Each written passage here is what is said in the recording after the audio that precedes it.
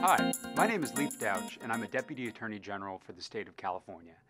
I'm running for District Attorney of San Francisco to restore some accountability to our criminal justice system.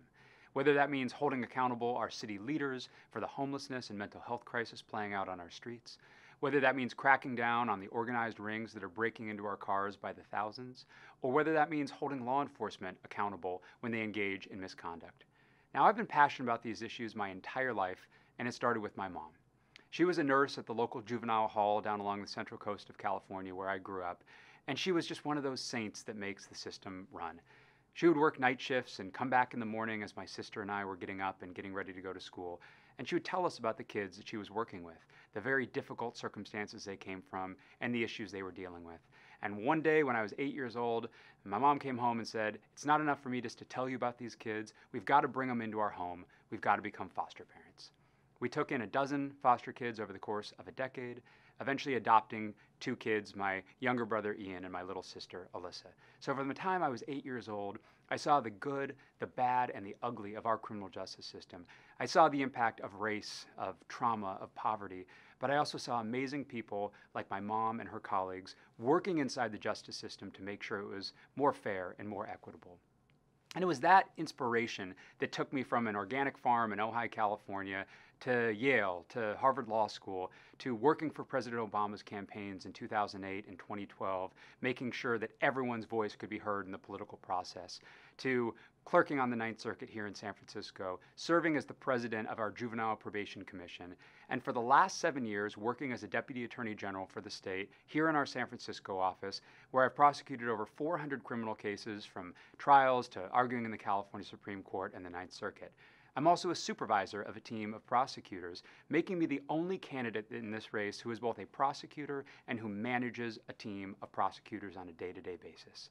Now, I mention my experience and my passion for these issues because we're really at an inflection point in San Francisco. It's the first time in 110 years where we have an open seat race for district attorney where all of us on a clean slate get to decide what sort of DA's office do we want? What sort of criminal justice system do we want? Now, four of the issues that I have been focused on my entire campaign are the homelessness crisis, the auto burglary epidemic, uh, the environmental injustice playing out at the Hunters Point shipyard, and the scourge of sexual violence here in San Francisco. On homelessness and mental health, we're going to take Juvenile Hall and turn it into a mental health justice center.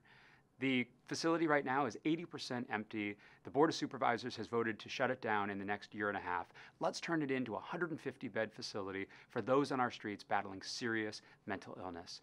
Car break ins. There were 31,000 reported car break ins in 2017, only 500 arrests, and the DA's office only took one case to trial in the entire year, and they lost it.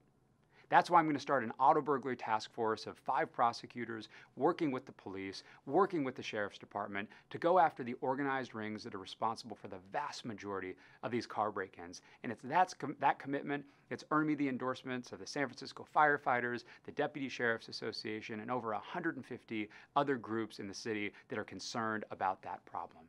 The scourge of sexual violence.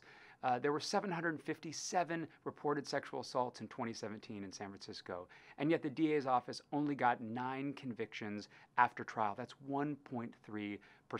We're committed to starting an online rape kit tracking portal so that survivors of sexual assault know the whereabouts and the status of their case in real time.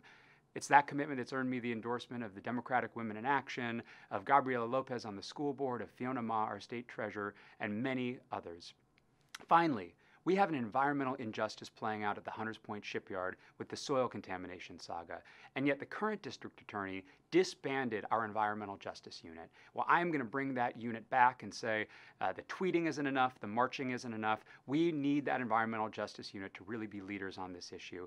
And it's that commitment that's earned me rank choice endorsements from the Sierra Club and the League of Conservation Voters. It's this experience as a prosecutor and these ideas that have earned me the endorsements over of, of 150 groups and elected officials and community organizations from the Sierra Club and League of Conservation Voters to the firefighters uh, and the deputy sheriffs, Fiona Ma, state treasurer, and leaders on the school board and in the state assembly. I would be honored to earn your support on November 5th or earlier if you vote by mail. Thank you.